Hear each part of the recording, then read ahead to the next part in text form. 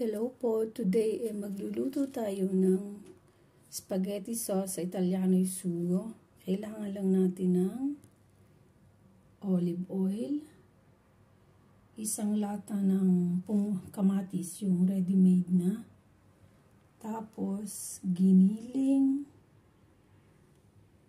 ka, isang karote, depende sa inyong pagluluto, at isang sibuyas na-slice ko na yung sibuyas. Tuwing nila mag-slice akong sibuyas, umiiyak ako. Hindi ko alam bakit.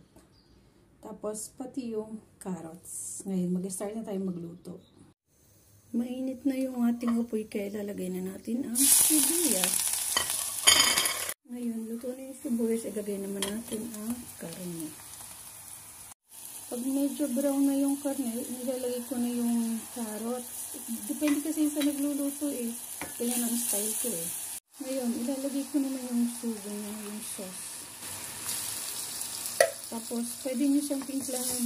Nagalagyan ko lang siya ng, ng asin, yung uh, cubes.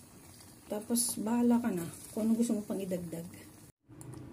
Ito, napakulungan ko na siya ng 45 minutes. Ready na siya. Sa Pilipinas, pwedeng pwede rin nyo itong lutuin eh. Napakadali lang. Sige po. Okay po. Bye-bye.